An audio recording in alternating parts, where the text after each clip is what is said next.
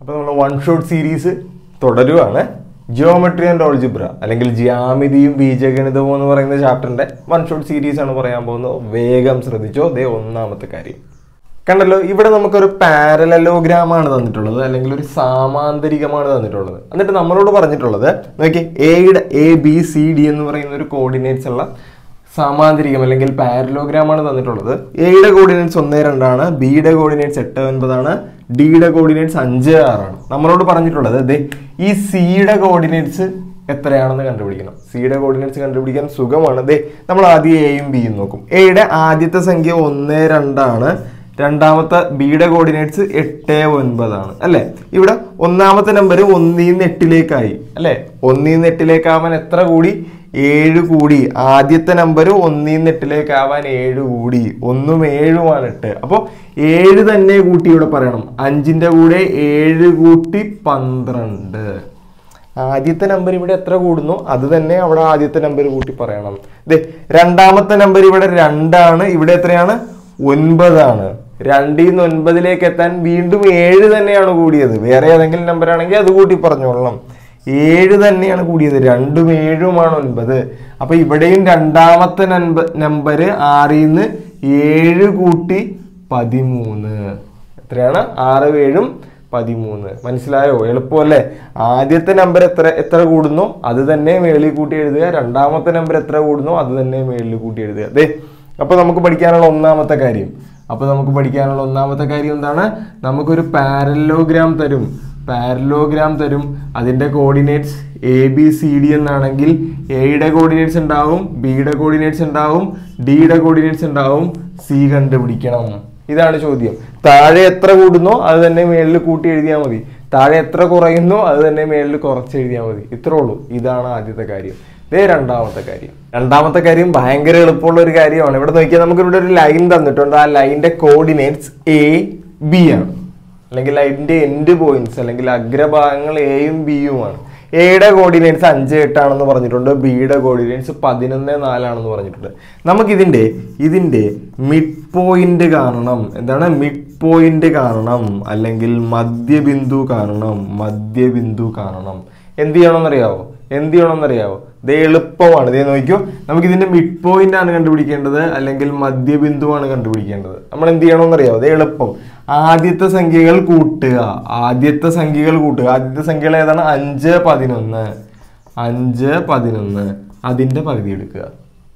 രണ്ടാമത്തെ സംഖ്യകൾ കൂട്ടുക. രണ്ടാമത്തെ സംഖ്യകൾ കൂട്ടുക. രണ്ടാമത്തെ സംഖ്യകൾ ഏതാണ്? എട്ടും നാലും. അതിന്റെ പകുതി എടുക്കുക. അതായത് അഞ്ചും പതിനൊന്നും കൂടി കൂട്ടുമ്പോൾ എത്ര വരും? പതിനാറ്. പതിനാറ് ബൈ രണ്ടും എട്ടും നാലും കൂടി കൂട്ടുമ്പോൾ എത്ര വരും? പന്ത്രണ്ട് ബൈ രണ്ടും. പതിനാറ് ബൈ രണ്ട് എത്രയാണ്? എട്ട്.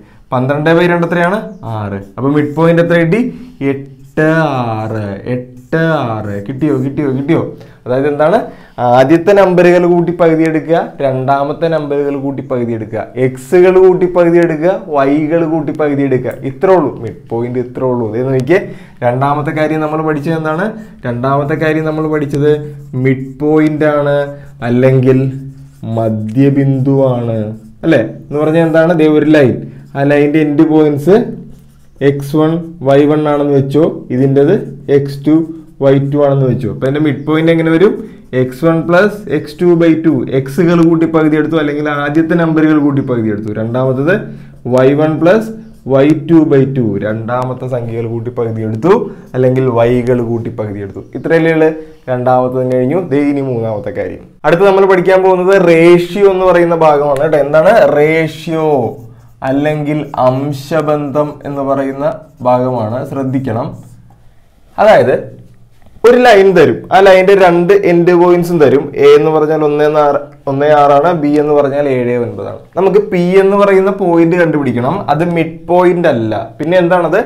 ആ പോയിന്റ് കട്ട് ചെയ്യുന്ന റേഷ്യോ തന്നിട്ടുണ്ട്. ഒന്ന് ഈസ് ടു രണ്ട്. ഒന്ന് ഈസ് ടു രണ്ട്. ഇനി നമുക്കറിയാം. ദേ ഒന്ന് ഈസ്റ്റ് ഒരു ലൈനിനെ ഇവിടെ മൂന്ന് ഈസ്റ്റു അഞ്ചായിട്ട് കട്ട് ചെയ്യുന്നുണ്ടെങ്കിൽ നമ്മൾ ഇതിനെ രണ്ട് ഭാഗങ്ങളായിട്ട് എഴുതും അല്ലെങ്കിൽ ഇതിനെ ഫ്രാക്ഷൻ ആയിട്ട് എഴുതും. അതെങ്ങനെയാണെന്ന് പറയട്ടെ?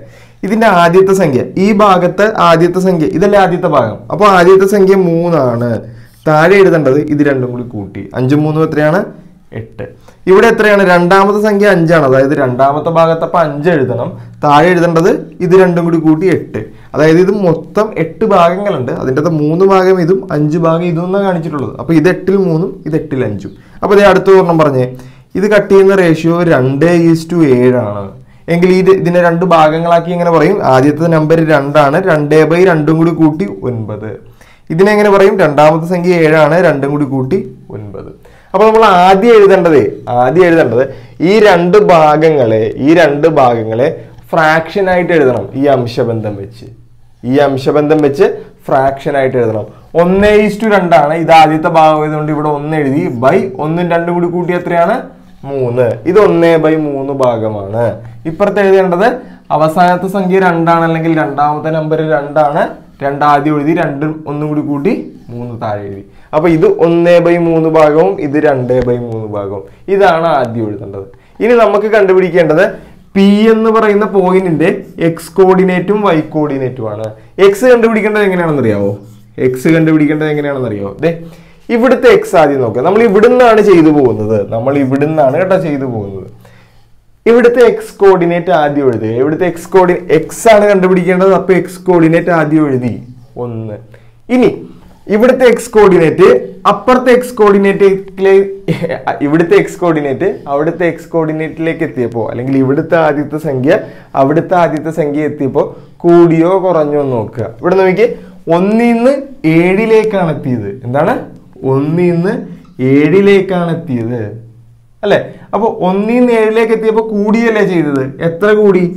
ആറ് കൂടി. അല്ലെ? ഏഴിൽ നിന്ന് ഒന്ന് കുറച്ച് നോക്കിയാലും മതി. ആറ് കൂടി. അപ്പോ ആ ആറ് കൂടിയത് അടുത്ത് എഴുതണം പ്ലസ് ആറ് ആദ്യം ഇവിടുത്തെ എക്സ് കോർഡിനേറ്റ് എഴുതുക. ഇനി എക്സ് കോർഡിനേറ്റ് കൂടിയോ കുറഞ്ഞോ നോക്കുക. കൂടിയെങ്കിൽ പ്ലസ് ആറ് എഴുതുക. കുറഞ്ഞെങ്കിൽ മൈനസ് ആ സംഖ്യ എഴുതുക.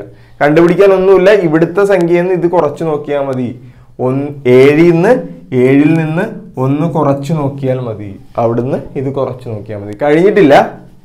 ഇന്റു നമ്മൾ ഇവിടുന്നല്ലേ ചെയ്തു പോകുന്നത്? ഇവിടുന്നല്ലേ ചെയ്തു പോകുന്നത്? അപ്പൊ ഇവിടുത്തെ ആദ്യത്തെ ഭാഗം ഇങ്ങോട്ട് എടുക്കുക. ഇന്റു ആദ്യത്തെ ഭാഗം.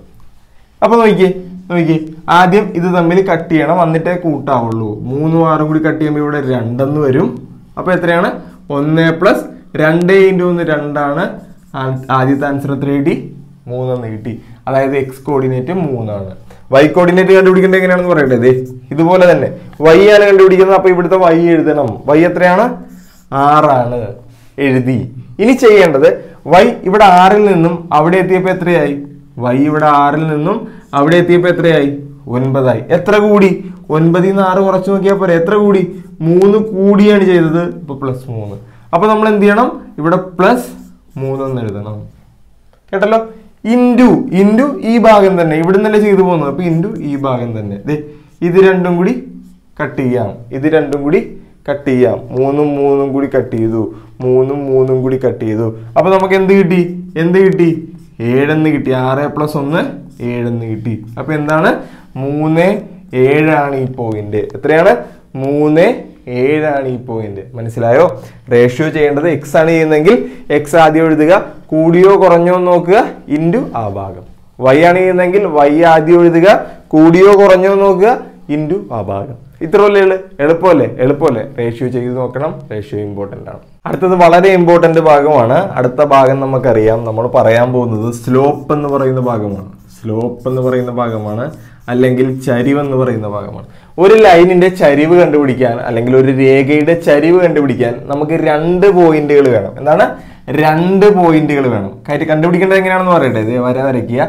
വൈകൾ കുറച്ച് മേളിലെഴുതുക വൈകൾ എന്ന് പറഞ്ഞാൽ രണ്ടാമത്തെ സംഖ്യ. രണ്ടാമത്തെ സംഖ്യ ഏതാണ്? ഇത് പതിനൊന്ന് മൈനസ് മൂന്ന്. വൈകൾ കുറച്ച് മേളിലെഴുതുക താഴെ എഴുതേണ്ടത് എക്സുകൾ കുറച്ച്. എക്സുകൾ കുറച്ച് താഴെ. അതായത് നാല് മൈനസ് രണ്ട്. വൈ ആണ് കേട്ടോ കുറച്ച് മേളിൽ എഴുതേണ്ടത്. എക്സ് കുറച്ച് താഴെ എഴുതണം. അപ്പൊ എത്ര കിട്ടി? പതിനൊന്നിൽ നിന്ന് മൂന്ന് കുറച്ചാൽ എത്ര വരും? എട്ട്. നാലിൽ നിന്ന് രണ്ട് കുറച്ച് രണ്ട്. എട്ട് ബൈ രണ്ട് നാല്. ഈ ലൈനിന്റെ സ്ലോപ്പ് എത്രയാണ്? നാലാണ്. അല്ലെങ്കിൽ ചരിവ് എത്രയാണ്? നാലാണ്. അപ്പോൾ ദേ ഈ ലൈനിന്റെ ഇക്വേഷൻ അല്ല ലൈനിന്റെ അല്ല സ്ലോപ്പിന്റെ ഇക്വേഷൻ അതാണ് നമ്മൾ നാലാമത് പഠിച്ചത്. ഇതേ ഒരു ലൈൻ ഉണ്ട്. ആ ലൈനിന്റെ coordinates x one y one ആണ്. രണ്ടാമത്തെ പോയിന്റിന്റെ coordinates x two y two ആണ്. അപ്പൊ ഇതിന്റെ സ്ലോപ്പ് എങ്ങനെ എഴുതും? ഇതിന്റെ സ്ലോപ്പ് എങ്ങനെ എഴുതും? അല്ലെങ്കിൽ ചരിവ് എങ്ങനെ എഴുതും? പറഞ്ഞേ പറഞ്ഞേ പറഞ്ഞേ വൈകൾ കുറച്ച് മേളിൽ എഴുതുക. Y two minus y one by x two minus x one ഈ ഇക്വേഷൻ നിങ്ങൾ പഠിച്ചില്ലെങ്കിലും കുഴപ്പമില്ല. വൈകൾ കുറച്ച് മേളിൽ എഴുതണം എക്സുകൾ കുറച്ച് താഴെ എഴുതണം. ഇത്രേ ഉള്ളൂ സ്ലോപ്പ് വൈകൾ കുറച്ച് മേളിൽ എഴുതണം എക്സുകൾ കുറച്ച് താഴെ എഴുതണം. ഇത്രേ ഉള്ളൂ സ്ലോപ്പ് എളുപ്പമല്ലേ? എളുപ്പമല്ലേ? ഭയങ്കര എളുപ്പം. പിന്നെ വേറൊരു കാര്യമുണ്ട്. ഇതേ ഒരു ലൈനിന്റെ സ്ലോപ്പ്. ഒരു ലൈനിന്റെ സ്ലോപ്പ് നാലാണെന്ന് പറഞ്ഞിട്ടുണ്ട്. ഒരു ലൈനിന്റെ സ്ലോപ്പ് നാലാണെന്ന് പറഞ്ഞിട്ടുണ്ട് ഈ ലൈനിന്റെ. ഈ ലൈനിന്റെ പാരലൽ ലൈനിന്റെ സ്ലോപ്പ് എന്താണെന്ന് ചോദിക്കും? പാരലൽ ലൈനിന്റെ അല്ലെങ്കിൽ സമാന്തര വരയുടെ സ്ലോപ്പ് എന്താണെന്ന് ചോദിക്കും? അത് ഈ നാല് തന്നെയാണ്. സെയിം തന്നെയായിരിക്കും. ഒരു ലൈനിന്റെ സ്ലോപ്പ് പാരലൽ ലൈൻ സെയിം തന്നെയായിരിക്കും. ഇനി പെർപെൻഡിക്കുലർ ലൈനിന്റെ എന്താന്ന് ചോദിക്കും? ഇതാണ് പെർപെൻഡിക്കുലർ ലൈന്റെ എന്താന്ന് ചോദിക്കും. അല്ലെങ്കിൽ ഇതിന് ലംബമായി പോകുന്ന വരയുടെ സ്ലോപ്പ് എന്താന്ന് ചോദിക്കും. അതെന്ത് ചെയ്യണമെന്ന് അറിയാമോ ഈ തന്നിട്ടുള്ള സ്ലോപ്പ് നാലല്ലേ അത് നേരെ തിരിച്ചെഴുതണം. അതിന്റെ വിൽക്രമം എഴുതണം. അതിന്റെ റെസിപ്രോക്കൽ എഴുതണം. ഇപ്പൊ ടു ബൈ ത്രീ ആണെങ്കിൽ ത്രീ ബൈ ടു നോക്കി ടു ബൈ ത്രീ ആണെങ്കിൽ തിരിച്ച് three by two four by three ആണെങ്കിൽ ത്രീ ബൈ ഫോർ അങ്ങനെ. ഇവിടെ ഫോർ ആണ് തന്നിട്ടുള്ളത്. അത് തിരിച്ചെഴുതുമ്പോൾ വൺ ബൈ ഫോർ അതൊരു ഇവിടുത്തെ ചിഹ്നം നോക്കണം. ഇവിടുത്തെ ചിഹ്നം എന്താണ്? പ്ലസ് ആണ്. ചിഹ്നം മാറ്റി എഴുതണം. Minus one by four parallel line ആണെങ്കിൽ സെയിം അഞ്ചാണ് സ്ലോപ്പ് എങ്കിൽ അഞ്ച് തന്നെ. പെർപെൻഡിക്കുലർ ആണെങ്കിൽ എന്ത് ചെയ്യണം? അഞ്ചാണെങ്കിൽ അത് നേരെ തിരിച്ചിടണം. അപ്പോൾ ഒന്നേ ബൈ അഞ്ചാകും ഒന്നേ ബൈ അഞ്ചാകും എന്നിട്ട് ചിഹ്നം മാറ്റണം. അഞ്ച് പോസിറ്റീവ് ആണ്. ഇവിടെ നെഗറ്റീവ് ആയിക്കോണം ഇത്രേ ഉള്ളൂ. പാരൽ ലൈനും പെർപെൻഡിക്കുലർ ആയിരുന്നു ഇതെന്തായാലും ചോദിക്കുമായിരിക്കും അപ്പോൾ ദേ അടുത്ത കാര്യം. അടുത്ത് നമ്മൾ കണ്ടുപിടിക്കാൻ പോകുന്നത് ഒരു ലൈനിന്റെ ഇക്വേഷൻ എങ്ങനെ എഴുതുമെന്നാണ്. ഒരു ലൈനിന്റെ ഇക്വേഷൻ എങ്ങനെ എഴുതുമെന്നാണ്. ഇക്വേഷൻ അല്ലെങ്കിൽ ഒരു രേഖയുടെ സമവാക്യം എങ്ങനെ എഴുതുമെന്നാണ്. ഒരു രേഖയുടെ അല്ലെങ്കിൽ ലൈന്റെ ഇക്വേഷൻ എഴുതണമെങ്കിൽ നമുക്ക് രണ്ട് കാര്യങ്ങൾ വേണം. ഒരു പോയിന്റും വേണം അതിന്റെ സ്ലോപ്പ് അല്ലെങ്കിൽ ചരിവും വേണം. ഒരു പോയിന്റ് ഉണ്ടായിരിക്കണം അതിന്റെ സ്ലോപ്പ് അല്ലെങ്കിൽ ചരിവ് ഉണ്ടെങ്കിൽ മാത്രമേ നമുക്ക് ഇക്വേഷൻ ഓഫ് എ ലൈൻ എഴുതാൻ പറ്റുള്ളൂ. അതെങ്ങനെയാണെന്ന് വെച്ച് കഴിഞ്ഞാൽ എളുപ്പമാണ്.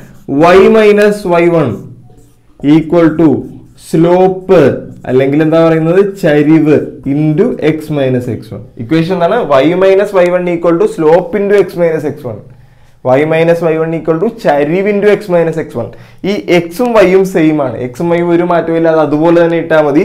ഈ എക്സ് വണ്ണും വൈ വണ്ണും എന്താന്ന് പറയട്ടെ? ഈ പോയിന്റ് ആണ്. ഇത് എക്സ് വണ്ണ് ഇത് വൈ വണ്ണ് ഇത്രേ ഉള്ളൂ. ഇനി ഇട്ട് കൊടുത്തേ. വൈ അതുപോലെ തന്നെ മൈനസ് വൈ വൺ എത്രയാണ്? ഇവിടുത്തെ വൈ എത്രയാണ്? രണ്ടാമത്തെ സംഖ്യ ആറ്. ഈക്വൽ ടു സ്ലോപ്പ് അല്ലെങ്കിൽ ചരിവ് തന്നിട്ടില്ല? എത്രയാണ്? മൂന്ന് ഇന്റു എക്സ് അതുപോലെ തന്നെ എക്സ് വൺ എന്താണ്? ഇവിടുത്തെ എക്സ് വൺ എത്രയാണ്? അഞ്ച്. ഇതാണ് ലൈനിന്റെ ഇക്വേഷൻ ഇതാണ് ലൈനിന്റെ ഇക്വേഷൻ അപ്പൊ ലൈനിന്റെ ഇക്വേഷൻ അല്ലെങ്കിൽ ഇക്വേഷൻ ഓഫ് എ ലൈൻ എന്താണ്? ഇക്വേഷൻ അല്ലെങ്കിൽ മലയാളത്തിൽ സമവാക്യം എന്നാണ് പറയുന്നത്. എന്താണ്? Y minus y one equal to slope into അല്ലെങ്കിൽ ചരിവിന്റു എക്സ് മൈനസ് എക്സ് വൺ ഇതാണ് equation y minus y one is equal to slope into അല്ലെങ്കിൽ ചരിവ് into x minus x one ഇത് ലാസ്റ്റ് കാര്യം അവസാനത്തെ കാര്യം ഇമ്പോർട്ടന്റ് കാര്യം ശ്രദ്ധിച്ചു. അപ്പോൾ നമ്മൾ അടുത്തത് പറയാൻ പോകുന്നത് ഇക്വേഷൻ ഓഫ് എ സർക്കിൾ ആണ്. അല്ലെങ്കിൽ ഒരു വൃത്തത്തിന്റെ സമവാക്യമാണ്. എന്താണ്? Equation equation of a circle അല്ലെങ്കിൽ വൃത്തത്തിന്റെ വൃത്തത്തിന്റെ എന്താണ് സമവാക്യം? ഇത് ചോദിക്കാൻ വളരെ ചാൻസ് ഉള്ള ഒരു ക്വസ്റ്റ്യൻ ആണ്. ഒരു വൃത്തത്തിന്റെ സമവാക്യം കണ്ടുപിടിക്കണമെങ്കിൽ നമുക്ക് അതിന്റെ സെന്ററിന്റെ അല്ലെങ്കിൽ കേന്ദ്രത്തിന്റെ കോർഡിനേറ്റ്സ് വേണം സൂചക സംഖ്യകൾ വേണം പിന്നെ റേഡിയസും വേണം. എന്തൊക്കെയാണ്? നമുക്ക് സാധാരണയായി ഒരു കേന്ദ്രത്തിന്റെ അല്ലെങ്കിൽ കേന്ദ്രത്തിന് തന്നെ വേണം. വേറെ ഏതെങ്കിലും പോയിന്റ് ആയാൽ പോരാ. കേന്ദ്രത്തിന്റെ അല്ലെങ്കിൽ സെന്ററിന്റെ കോർഡിനേറ്റ്സ് വേണം. പിന്നെ എന്ത് വേണം?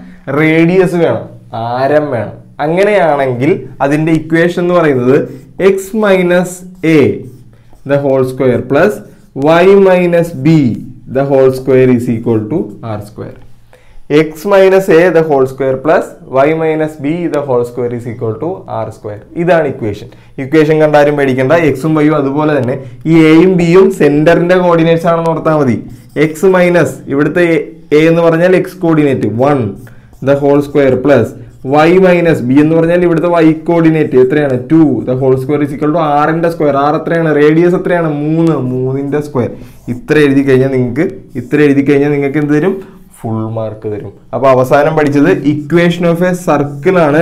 ഒരു സർക്കിളിന്റെ ഇക്വേഷൻ എഴുതണമെങ്കിൽ നമുക്ക് സെന്ററിന്റെ കോർഡിനേറ്റ്സ് വേണം. അത് എ ബി ആയിട്ട് എടുത്തു. ഇത് ആറാണ് എങ്കിൽ ആ ഇക്വേഷൻ എങ്ങനെയാണ്? X minus a the whole square plus y minus b the whole square is equal to r square അപ്പോൾ ഒരു പോയിന്റും സെന്ററിന്റെ കോർഡിനേറ്റ്സും റേഡിയസും ഉണ്ടെങ്കിൽ ഇക്വേഷൻ ഓഫ് എ സർക്കിൾ എഴുതാം. കേട്ടല്ലോ?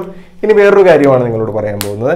നിങ്ങൾ അൺ അക്കാഡമി എന്ന് കേട്ടിട്ടില്ലേ? അൺ അക്കാഡമി. അൺ അക്കാഡമി എന്ന് പറയുന്നത് ഇന്ത്യയിലെ ലീഡിങ് എട്ടെക് കമ്പനിയാണ് അതായത് പഠിപ്പിക്കൽ ഇന്ത്യയിലെ പല കോഴ്സുകളിലേക്ക് അല്ലെങ്കിൽ പല എക്സാമുകൾക്ക് വേണ്ടി പഠിപ്പിക്കുന്ന ഒരു കമ്പനിയാണ് അവർ കേരളത്തിൽ ഇതുവരെ കെ എൽ ബോർഡിന് വേണ്ടി ലോഞ്ച് ചെയ്തിട്ടില്ലായിരുന്നു. ഒരിക്കൊല്ലം മുതൽ ഇപ്രാവശ്യം മുതൽ കേരളത്തിൽ ലോഞ്ച് ചെയ്യുന്നു. നിങ്ങൾക്ക് കേരള ബോർഡ് അല്ലെങ്കിൽ കേരള സിലബസ് ഒൻപത് പത്ത് ക്ലാസ്സുകൾ അൺ അക്കാഡമി വഴി പഠിക്കാം.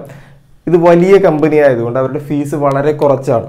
അതായത് ബാക്കിയുള്ള പ്ലാറ്റ്ഫോമുകളായിട്ട് നോക്കാൻ നേരത്ത് വളരെ കുറവാണ് അവരുടെ ഫീസ് അപ്പോൾ നിങ്ങൾ നിങ്ങൾക്ക് അൺ അക്കാഡമിയിൽ കേരള ബോർഡ് ഒൻപത് പത്ത് ക്ലാസ്സുകൾ പഠിക്കണമെന്നുണ്ടെങ്കിൽ നിങ്ങൾ നേരെ ഞാൻ ഡിസ്ക്രിപ്ഷൻ ബോക്സിൽ കുറച്ച് കാര്യങ്ങൾ പറഞ്ഞിട്ടുണ്ട്. അത് കൂടാതെ നിങ്ങൾക്ക് പ്രിൻസ് കെ എൽ ടെൻ എന്ന് പറയുന്ന കൂപ്പൺ കോഡ് ഉപയോഗിച്ച് കഴിഞ്ഞാൽ എന്ന് പറയുന്ന കോഡ് ഉപയോഗിച്ച് കഴിഞ്ഞാൽ നിങ്ങൾക്ക് ഈ കോഴ്സുകളിലെല്ലാം പത്ത് ശതമാനം ഡിസ്കൗണ്ട് കിട്ടും. കേട്ടല്ലോ?